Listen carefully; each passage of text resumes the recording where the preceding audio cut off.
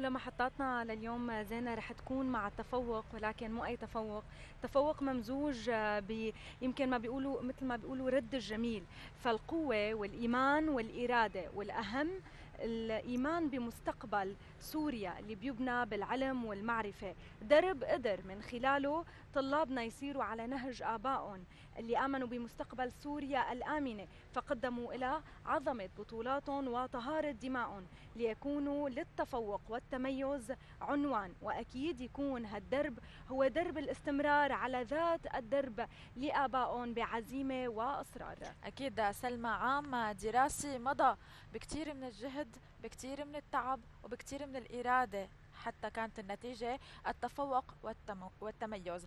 وكأنه هالشيء مثل ما قلنا هو أمانة. مثل ما حمل والده البطل الشهيد وسام الشرف والشهادة كان آه، طبعا الابن بده يحمل وسام التفوق والتميز ليكون أيضا اسم والده مرفوع بكل مكان وبكل ذكر خالد بالتفوق والتميز والشهادة. وعائلة متميزة جدا. اليوم رح نتعرف على طبعا أولى فقراتنا الصباحية مع علي عباس ابن الشهيد البطل أسامة عباس متفوق بالشهادة الثانوية العامة. صباح الخير مبروك التفوق. الله يبارك بعمرك يسعد صباحك مبروك. صباح الخير الله يبارك بعمرك. يعني جهد عام آه، توج الحمد لله. آه، توج وأكيد هذا الجهد ما هو جهد عام واحد هو جهد طبعاً. عوام من الدراسة. صح. خلينا نحكي شوي عن هي الرحلة. هلا أنا مثلا من من صغري كنت حاط ببالي اتفوق كذا آه، انجح بحياتي مسيرتي. وكان الوالد يعني كان يساعدني بس بعد ما استشهد والحمد لله صار عندي إرادة أكثر تصميم أكثر إنه ارفع اسمه يعني مثل ما كنا معزوزين بوجوده رح نضل معزوزين وضل رافع اسمه حتى بعد ما استشهد وكتتويج لعمل العائلة جميعا مو بس أنا. كانت رحلة شاقة على مدار هالسنوات بس الحمد لله بالنهاية تتوج بشيء حلو كثير يعني فرحة ما بتنوصف أكيد أكيد يا علي. آه كثير من الطلاب لما يشوفوا طلاب متفوقين ومجمعين مجموعة يعني تقريبا كامل خلينا نقول بيقولوا كيف كيف إنه قدرت توصل لهي المرحلة؟ يعني هي كتير بدها تخطيط وهلأ في عنا أيه. عندك طلاب لسه عم يحضروا حالهم للبكالوريا. آه كيف هيك كانت الخطوات اللي آه قمت فيها حتى توصل لهي النتيجة من التفوق؟ وخاصة دائما بنقول آه دعم الأم أساسي من وجه تحيه لوالدتك هي موجودة معنا كمان اليوم. وبنقول عن جد يعني كلنا فخر إنه هاي النتيجة كوالدة هيك شهيد عم تعطيك كأم وأب يعني كمان. والله أول شيء يعني الإرادة والتصميم إنه حاط هدف بباله إنه يطمح له يحققه. ما مثلا إنه صار واجه صعاب واجه كذا يستسلم. أي واحد بال... أي واحد طالب بكالوريا أو أي شيء بحياته بمهنته رح يواجه صعاب بحياته. فالإرادة لازم تكون أهم شيء والتصميم. وكل ما يتذكر روح أنا كل ما أتذكر روح والدي تزداد إرادتي حتى آه، خلال التعب خلال الصعوبة.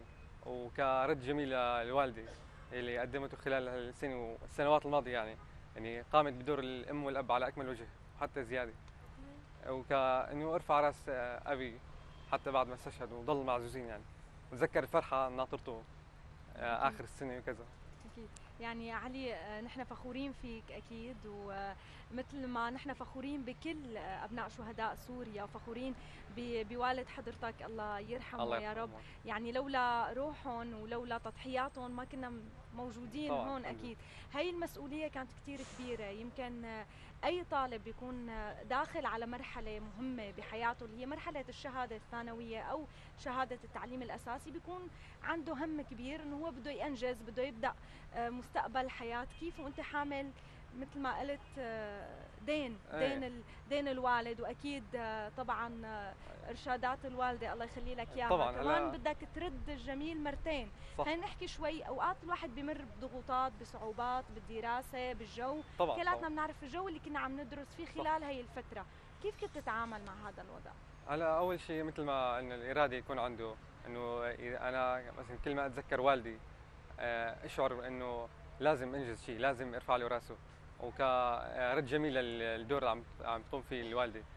آه، مع شوية صبر شوية تعب ويتفائل يعني إنه بالاخير أنا رح أجيب أنا رح آه، أفرح أنا رح أتكرم. بعدين واراده وتصميم يعني ما ما يوقف عند عائبه كذا.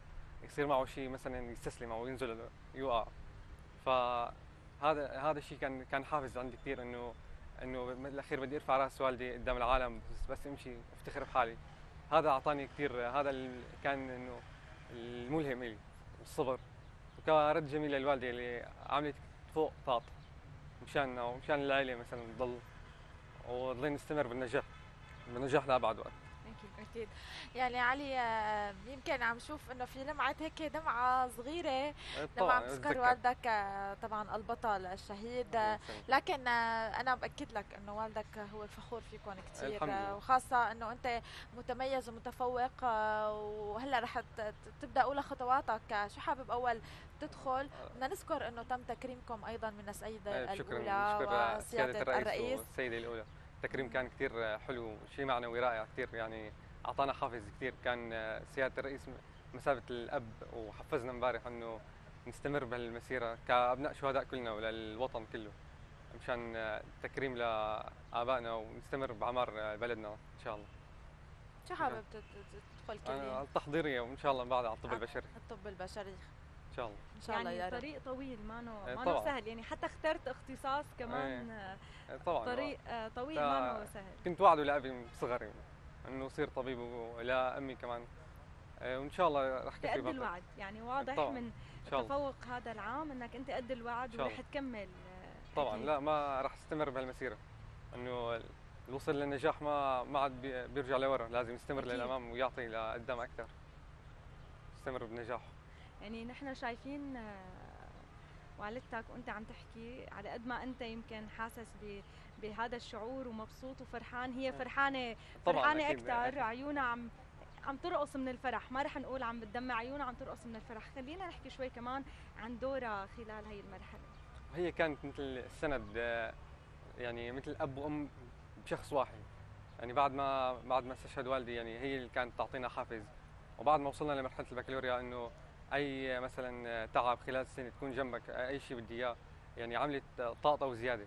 بس مشان آه، نستمر بهي المسيره وإنه نرفع اسمها واسم الوالد الله يرحمه آه، بالعالي.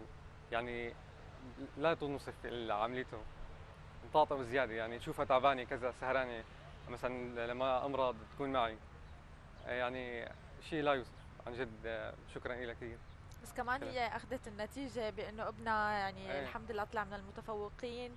آه يعني هي عندها وسامين هلأ أولادها متفوقين وهي زوجة آه الحمد لله. طبعا انبسطت كثير يعني لما طلعت نتيجة وكان يعني لما طلعت النتيجة هيك كنت خايف دق قلبك طبعا إيه. كيف كانت هي اللحظات لما سمعت نتيجتك؟ هي لأنه طلعت فجأة النتيجة ما ما حدا كان إيه. دريان فيها ف شفنا طلعت نتيجة. أنا كنت واثق يعني إنه إن شاء الله دغري طلعتها ولا؟ إيه طبعا كنت حافظ الموقع من قبل مشان فورا بس طلع النتيجه اشوفها إيه. لما شفت النتيجه يعني فرح فرحت آه، كنت متوقع أكثر بس يعني الحمد لله.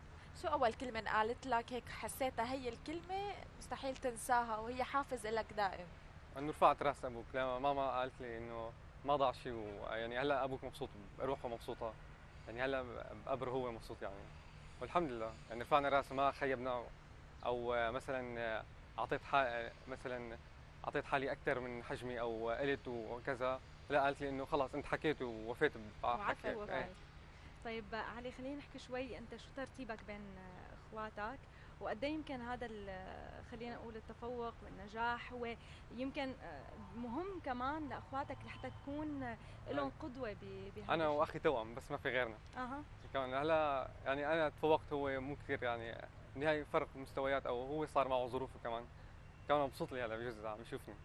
هو لاعب نوجه له تحية نقول له يسعد صباحك بحب الرياضة؟ لاعب نادي الجيش إيه كان ميوله للرياضه أكثر يعني من الدراسة. يلا إن شاء الله كمان بيبدع بالرياضة. إن شاء الله الله يسلمك.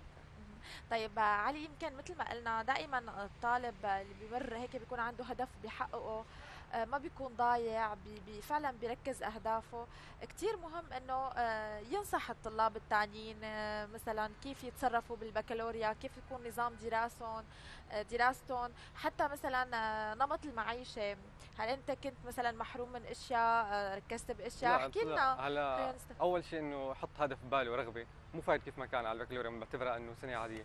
سنة عادية أول شيء نعتبرها هي ما أنا كابوس ولا شيء بس إنه لازم يكون قدها يعني فايت انت ما آه، مانك متجهز ومسؤولية عليك.